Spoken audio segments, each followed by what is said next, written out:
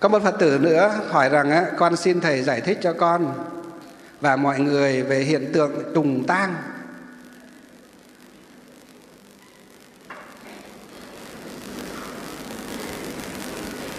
Làm như thế nào để hết hiện tượng này ạ? Hay làm cách nào để hết hiện tượng này? Câu này cũng khó phải nạp năng lượng một chút.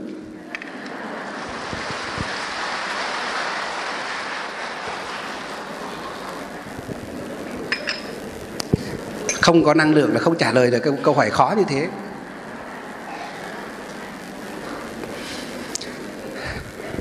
Chúng ta hay thường hay nghe thấy là trùng tang. Trùng tang là gì? Trùng tang có nghĩa là trong một cái dòng họ một chi họ hay một cái bếp đó hay thậm chí là trong một gia đình đó có người mất bằng nhiều lý do có thể đưa đến cái sự chết chóc đó. Nhưng người đó mất mới được mấy tháng thậm chí có khi mới được vài ngày lại trong cái gia đình đó hoặc chi họ đó hoặc cái bếp đó lại tiếp tục có người mất tiếp theo. Thì đó gọi là trùng tang. Đi xem các ông thầy ấy, người ta xem giờ thế vì cộng tuổi này mất vào tuổi này vào tháng này vào ngày này vào giờ này. Đấy người ta xem cái đó thì nó ra thì thường là có ra gì? Ra nó gồm là có ra trùng tang ra thiên di ra nhập mộ. Đó thường xem là tuổi, tháng, ngày, giờ thì hay ra những cái trùng tang thiên di nhập mộ đó. Theo quan điểm của người xưa hỏi tính cách đó. Họ nói là nếu mà vào nhập mộ và vào thiên di thì tốt, vào trùng tang thì rất xấu.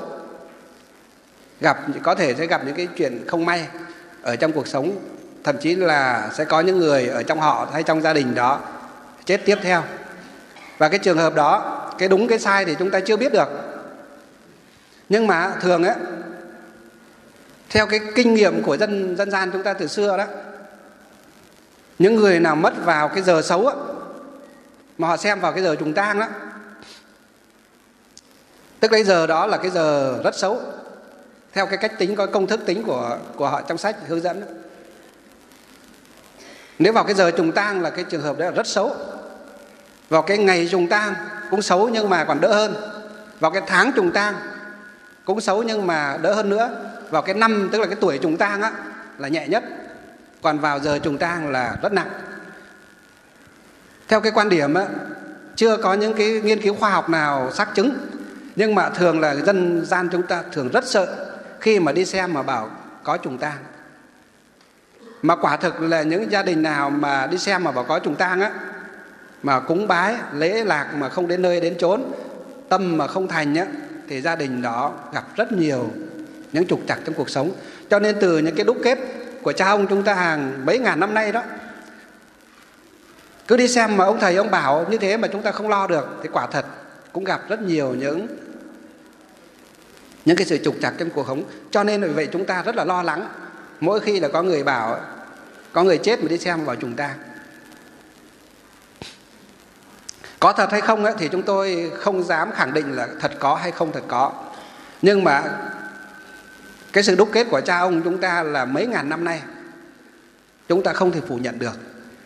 Còn ờ, một vị ờ, một vị vài thầy lên giảng nói rằng cái việc trùng tang là giải thích về cái việc trùng tang là phi khoa học vân vân. Quả đúng như vậy. Nếu mà giải thích cái việc trùng tang theo khoa học có giải thích được không? Không giải thích được không thể nào đem khoa học biện chứng mà giải thích cái việc trùng tang vấn đề tâm linh được. Nhưng ở đây á, chúng tôi có nghiên cứu một vài tài liệu nói về trùng tang, hay còn gọi trùng tang liên táng ạ. Theo quan điểm của nhà Phật, đó là gì? Đó là cộng nghiệp. Tôi rất tâm đắc với một vài vị pháp sư nói cái vấn đề trùng tang, lấy vấn đề nhân quả để giải thích vấn đề trùng tang, đó là cộng nghiệp.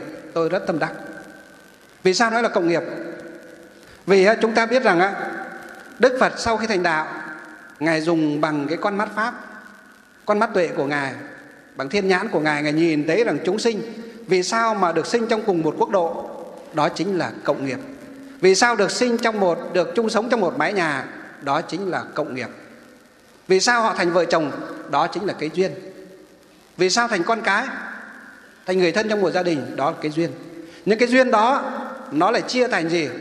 Thành cái duyên tốt và duyên xấu. Hai loại duyên tốt và xấu.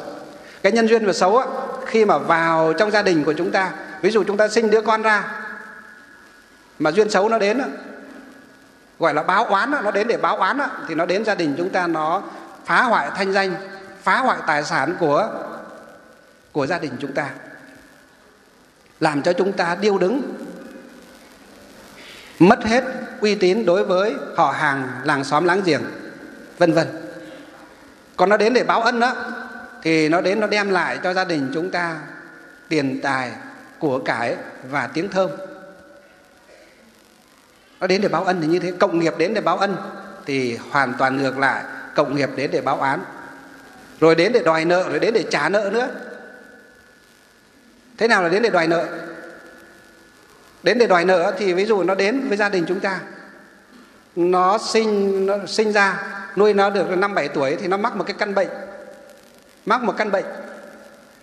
Hiểm nghèo và chúng ta đưa đi viện. Hết viện này đến viện nọ, chữa hết thầy thuốc này đến ông lang kia. Kiệt quệ tài sản về nó. Khi tài sản vừa hết á, thì nó chết. Đó gọi là đến để đòi nợ. Khi nó đòi hết nợ làm cho chúng ta tài sản khánh kiệt rồi, nó mới chết. Đó gọi là đến để đòi nợ. Còn đến để trả nợ à, là còn trường hợp đến để trả nợ nữa thế trường hợp đến để trả nợ là thường thường á. Nó đến với gia đình chúng ta nuôi lớn nó, ăn ăn học, ra trường. Nó đi làm được năm, bảy năm 10 năm. Khi mà cái lương nó vừa được tăng lương, vừa rất cao, vừa đem lại được tiếng thơm cho dòng tộc, cho gia đình nhà mình á thế đùng một cái, tai nạn giao thông nó chết. Ốm, gặp bệnh hiểm nghèo nó chết, hoặc là đột tử nó chết, vân vân đó. Vừa đem lại cái tiếng thơm đem lại tiền tài của cải cho gia đình chúng ta ở một cái mức nào đó thì nó chết ngoéo đi. Đó gọi là đến để trả nợ. Trả hết nợ một cái thì nó đi. Còn đến để đòi nợ thì đòi hết thì nó cũng đi. Tôi nghe hòa thượng tịnh không nói về cái báo ân báo oán đòi nợ trả nợ. Ngài giảng giải qua cái ấn quang văn sao của ngài ấn quang pháp sư đó, về cái đòi nợ trả nợ. Báo ân báo oán đó tôi rất là tâm đắc và đặc biệt khi mà tôi đọc thấy một cái tư liệu lâu rồi tôi không nhớ tên cái vị pháp sư đó, nói giải thích về vấn đề trùng tang đó chính là công nghiệp đến với gia đình chúng ta. Cho nên á, muốn giải trừ trùng tang, có giải trừ được không? Vị pháp sư đó trả lời là có thể giải trừ được vấn đề trùng tang. Bằng cách nào? Theo tư tưởng của kinh địa tạng, cúng giảng tam bảo, cung thỉnh chư tăng, đọc tụng kinh phật bố thí phóng sinh tu phúc cúng dường hồi hướng cho vong linh đó được siêu thoát. Đồng thời khiến chúng ta cũng được tăng phúc tăng duyên và vượt qua được những cái ách nạn đó. Cho nên đó, từ năm 2012 tới đây trước đây á, khi mà chúng tôi chưa học được cái pháp trung phong này chưa tổ chức pháp hội trung phong này á các gia đình mà trùng tang đến có những gia đình trùng tang đến.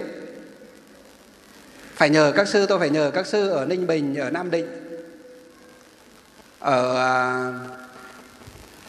hưng yên đến để lễ cho mỗi một lần mỗi một gia đình mà hay bị trùng tang như thế mà nhờ các quý thầy đến lễ ít nhất phải có năm vị đại đức. Và khoảng độ năm bảy sư thầy đến tụng kinh Amida cho nữa, gọi là cúng dường chữ tăng mà thỉnh các thầy đến lập đàn cúng lễ cho từ sáng đến tối. Kinh phí rất tốn kém.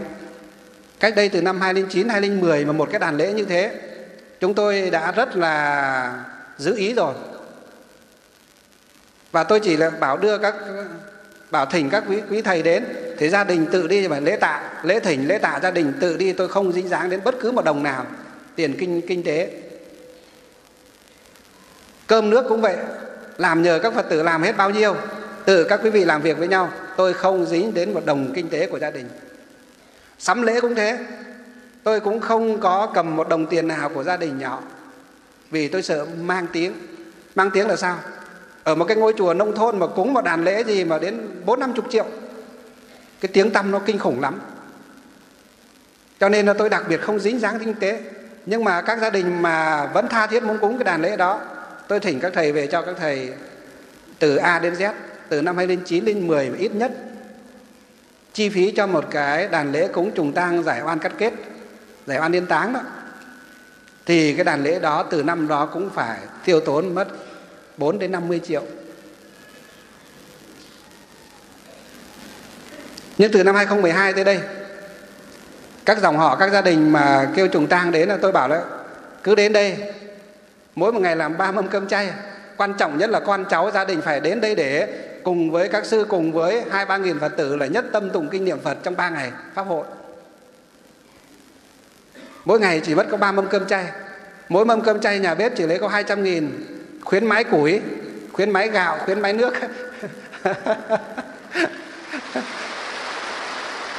Bình thường một mâm cơm chay của người ta làm, nếu mà làm nó chắc phải đến bốn năm trăm nghìn à, ít nhất cũng phải ba trăm nghìn. Nhưng nhà bếp bảo thôi thầy thầy bảo là thôi các phật tử họ gặp những cái sự khổ như thế họ mới đến chùa. Mình phải tạo điều kiện làm sao cho các phật tử tốt nhất để họ đến chùa. Điều quan trọng nhất là họ được học phật họ có niềm tin với đức phật. Chứ không phải điều quan trọng nhất là mình cầm tiền bỏ túi. Mà mình cầm tiền bỏ túi chẳng làm gì cả. Tiền bỏ túi đối với thầy cũng chỉ để xây dựng vào công việc phật sự cho chúng ta tu tập mà thôi vì thầy đã phát nguyện rằng thầy có thể nhắm mắt xuôi tay chết bất cứ lúc nào. Thầy không giữ tiền cho bản thân mình. Bất cứ lúc nào. Cho nên mọi công việc phật sự làm hết ngày này qua tháng khác. Vậy giữ tiền để làm gì? Lấy một vài đồng tiền của nhà họ khi mà họ đang gặp những cái cái sự đau khổ, sự lo lắng đó. Họ đã kiệt quệ về kinh tế rồi mà mình lại còn nhắm mắt nhắm mũi mà bảo họ phải mang bao nhiêu tiền đến, bao nhiêu tiền đến mới làm. Đó là cái điều có thể nói là gì? Là mất lương tâm ở trong trong cửa Phật nếu mà ai mà làm như thế. Vì vậy mà thầy chỉ đạo cho các Phật tử làm thế nào đó để cho các Phật tử ờ, họ ít tốn kém nhất. Nhưng mà cái hiệu quả họ vẫn đạt được. Đó là họ không còn lo sợ nữa. Đó là vấn đề trùng tang ở trong gia đình họ, dòng họ của họ được giải quyết một cách là tốt đẹp, nhờ vào cái sự gia hộ của Tam Bảo. Và từ năm 2012 đến đây, Pháp hội nào cũng có ít nhất và khoảng độ 15 đến 20 gia đình có pháp hội phải đến 6 70 gia đình. Đến nói là đi xem, họ bảo trùng tang họ bảo phải lập đàn để cúng, nhưng mà họ quát là 100 triệu, có chỗ họ quát là 150 triệu bạch thầy chúng con không thể có tiền như thế. Có phải bán đất, bán nhà mới có thể có số tiền đó để cúng? Nhưng mà cúng xong rồi thì ở vào đâu? Mà cúng rồi thì không biết là có giải quyết được không? Nếu mà giải quyết được, có thể cũng sẵn sàng bán nhà. Nhưng mà không, các thầy đều không khẳng định là giải quyết được không? Cho nên chúng con không dám bán nhà để cúng.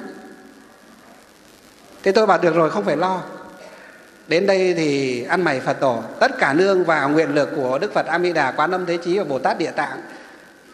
Và các vị bồ tát cũng như đại chúng tăng ni và phật tử tham dự pháp hội sẽ cùng nhau lo cho. Nhưng điều quan trọng là gia đình phải nhất tâm. Già, trẻ, gái, trai đều phải đến đây trừ những người bệnh tật không đi được. Phải một lòng đến đây ba ngày, đến từ sáng sớm, tối xong khóa lễ mới được về. Hoặc là ở xa thì ngủ cả lại đây ăn uống nhà chùa, nhà chùa cũng chiêu đãi miễn phí mặc dù ngủ dưới đất cũng miễn chiêu đãi.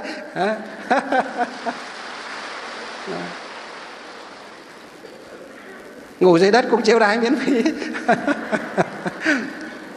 Và từ năm 2012 đến giờ các gia đình đến mà đi xem bảo trùng tăng trùng phục đến cho đến nay về đều hoan hỉ hết đều tốt đẹp hết. Còn cái chuyện mà trong gia đình có người già mà chết bệnh mà chết già bệnh chết thì cái đó là cái chết gì? Chết do già bệnh thì cái chuyện đó là bình thường.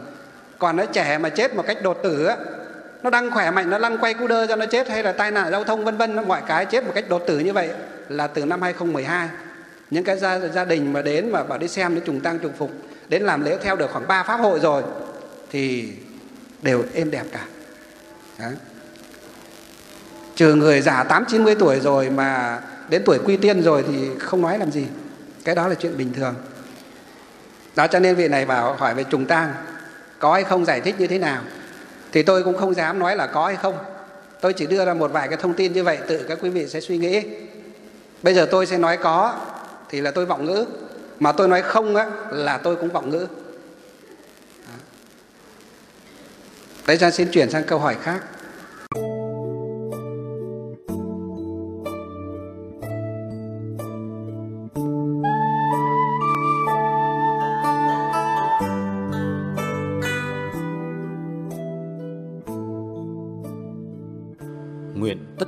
Chúng sinh đều tín niệm Di Đà, đồng cầu sinh về nước cực lạc.